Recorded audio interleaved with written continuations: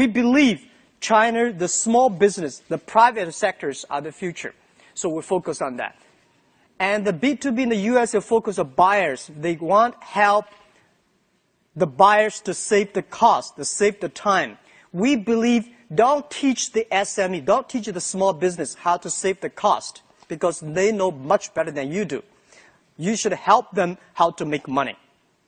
So we focus on helping small business. We focus on helping them to make money, to sell things abroad.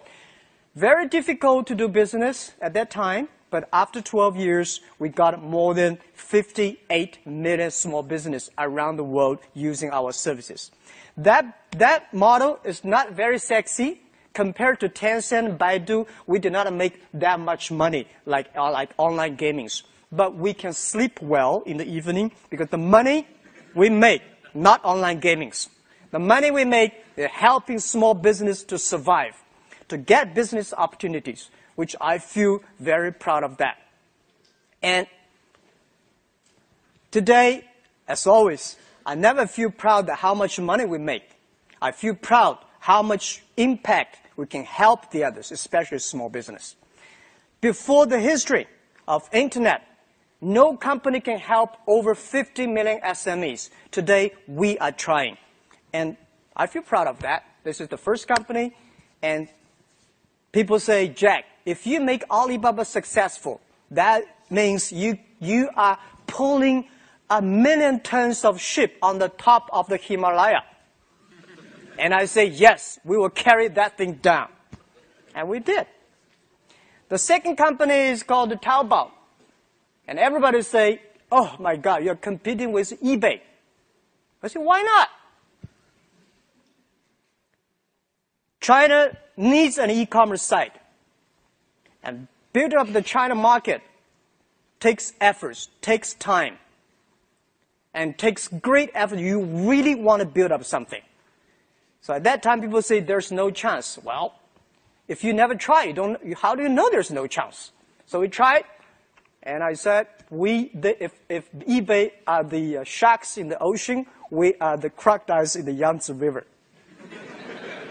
Never fight in the ocean, let's fight the Yangtze River. It was difficult. It's a lot of fun. And we survived. They got a 90% market share at that time. Today, for C2C, B2C, we're like 90% market share. And lucky, just lucky. Um, there are a lot of things can be discussed in the future. Today, people always write about the successful stories about Alibaba. And I, and I really don't think we're so smart. We made so many mistakes. We were so stupid at that time. So I think someday the book I personally really want to write about, as I said, is Alibaba 1001 Mistakes. These are the things these are the things people should remember, people should learn. If you want to learn how the people, the other people succeed, it's very difficult. There are a lot of lucky things out there. But if you want to learn, if you learn how people feel, you will benefit a lot. And I always like to read those books talking about how people feel. Because look, if you look into it, any company that feel, the reasons why they feel almost the same. And that really matters. So Taobao succeed, and then we have the Alipay because everybody say China, oh, no credit system, banking is terrible, logistics terrible, and how can you do e-commerce? I never tell, to, just like today, I come here not without a PPT, without my business. I, I'm not coming here to sell your business, sell my business because I don't have stocks to sell to you guys. But I think because China is not a good at logistics, not good at credit system, not good at a banking system, that's why we need the entrepreneurship. That's why we go, we should go and build them up. So I believe if there's no, you build it up. Later, this become the standard of China. And I believe China needs that. I've, I remember six years ago, I came to the States, I told the USA audience, say, I believe five years later, China will have more internet users than the USA. People say, no. I say, well, you have only 300 million population. China 1.3 billion, right? For you guys to have 400 million internet users without anybody dying, keep on having babies, you take 50 years. we need five years. It's just a time issue, right? So let's wait and see. Today, we have more users. And today people say, well, your buying capability is low. Let's see about five years later. Five years later, today people only spend 200 RMB per day, per month. Five years later, these guys will spend 2,000. And we have patience. We are young. You know, I'm old, but my people only 26 average age. They are young. Let's wait for the future. So, Alipay was just like a very, that time people say it's a stupid escrow services, right? John wants to buy things from Stephen. John does not want to wire the money, and Steve does not want to give the. So many challenges, guys. I never realized that. One of the uh, key government officers of uh, another country visited me and said, Jack, oh my God, you have uh, 300 million users on Taobao, and you know, you, the population is much bigger than my country. I said, yeah, it is difficult. Any policy we're making, we get into big trouble. Because people say, this is pretty good. If some people complain, it's just like a government policy making. And those people who are making policies, their average age is 26.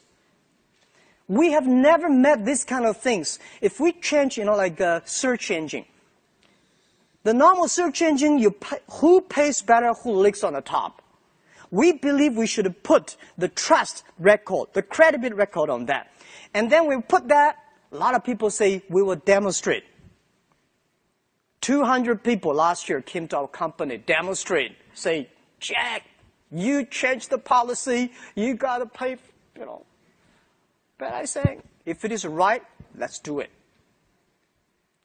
And this is the world we're changing. And now, today, what we need is not pure programs, not service people and product manager. What we need is so, sociologists, e- economists, and those guys who make the principle and the policies. So we're facing a lot of challenge, challenges, but we feel proud because I believe in the 21st century, if you want to be a successful company, you have to learn how to solve a problem of the society instead of catching one or two opportunities. It is so easy to catch opportunities. And it, I'm not bragging. I think today, after, after 12 years jumping around, I find that making money is very simple. But making sustainable money and responsible to the society, improve the world, meanwhile making a lot of money is very difficult. And this is what we are trying. And we think China, because of internet, is improving. And three years later, I'm preparing for that. Today, people say, ah, China's stock, internet stock going down, that because of the VIE, because of what, this. No. I think, look at the U.S. economy. This is, they're facing big challenges. Europe probably go nowhere, right? China, anything that happens today in the US and Europe is going to happen in China three years later. China is going to face a big challenge in three, four years later. And if you know something bad is coming, get ready for it instead of screaming now, instead of complaining. And as internet companies, we have to take responsibility. And my job I'm not a politician. I'm not speak for government. I'm speak for myself, for our own business, speak for my customers. 50 million SMEs and 8 million Taobao power sellers, how they should survive three years later. This is something I want to come here in the States, learn how Obama say, I'm going to create jobs. How he did that. Any mistake, we should learn from it, and three years later, let's solve it in our way. This is why I'm here. So I think you all have a lot of questions, and I'm ready to answer any questions you have because I don't know what, what to talk about later because I'm just here. It's just a free talk, right? Thank you very much. Any question you have?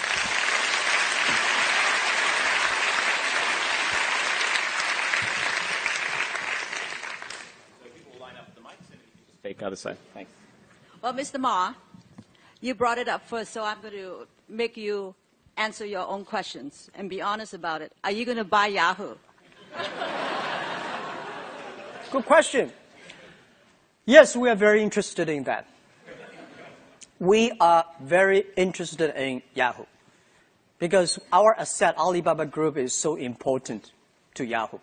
And Yahoo assets also very, very important to us, to the internet users and to the industries. So, yeah, we are interested in, and also all the Ps and all the serious buyers, they already talked to us, and they, they, they, they, they should talk to us more. Have you made the initial approach to them Pardon? about? Have you made the initial approach to them about buying them? I just to show you that we are very interested in right now. Thank you. Hey, Jack. Uh, actually, I'm not gonna ask that tough question. Uh, No. I, I was actually encouraged by Joe this morning, and uh, he said that uh, anything about uh, the uh, uh, cinema mode and uh, uh, uh, uh, I, VIE mode, um, just ask Jack, and he'll be the right person to answer all, answer all of these questions. And uh, okay, seriously, uh, this is a question that I know that PRC government has adopted uh, the uh, um, um, national security uh, review system against the, the M&A merge and uh, acquire the PRC company by the foreign um, by foreign companies. So um, my question is, how do you view the impact of the um, scru- scrutiny by the PRC government? And uh, specifically, do you think that's going to adversely impact for the uh, uh, PRC company go offshore IP? So my question is, would you like to share just one thing with us first? And you would do differently, uh, differently uh, you know, for something, one thing. Okay. Yeah, okay. All right. Thank you, Michelle. Right, Michelle Tan? Yes. Thank you. We, uh, we know lot, not see for 10 years. Um, yeah, we've gone through a lot of uh, tough days. If uh, today, when something is smooth, I just feel uncomfortable. that's, that's true. Uh, in the U.S., it's called very paranoid. I am, yeah. But uh, the mistake we made a lot for Yahoo China.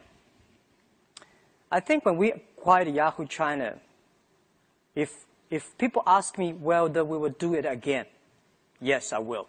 But whether we will do it in this way, no, I won't.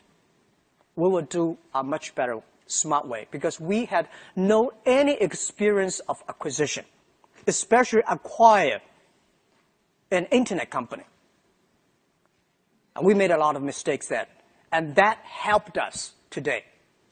So when you ask me about whether I'm interested in Yahoo, yes, of course. I think we are probably one of the very few companies really understand Yahoo USA very well because of that. And people say, well, Yahoo China is terrible. How could you still talk about that? I mean, terrible running. No, it's not terrible running. We saw problems four years ago. So we cut Yahoo China. If we did not, we would have died today.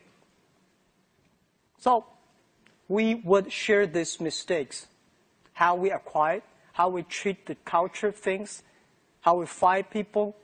We should fire some people earlier. We should keep some people. You know, there's a lot of details.